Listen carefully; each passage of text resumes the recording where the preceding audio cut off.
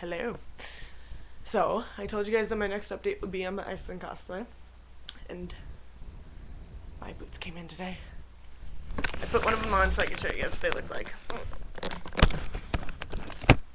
That's what they look like. Two inch heel, lace up all the way. I adore them. They fit perfectly, and they are exactly what I need for the Iceland cosplay.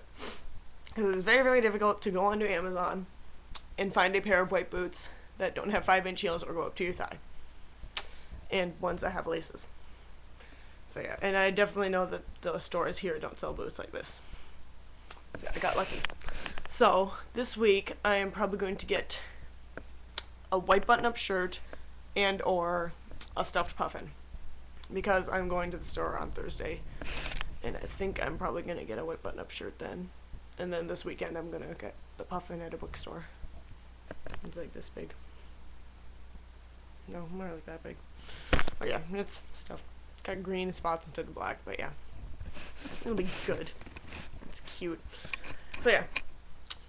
Be on the lookout sometime maybe next week for another update on either with either the puffin and or the white button up shirt. And I'm probably gonna get the necktie thing soon too. And maybe the wig in a few weeks. Maybe in like three or four weeks I'm gonna get the wig. But yeah. So be on the lookout for more updates on the Iceland cosplay.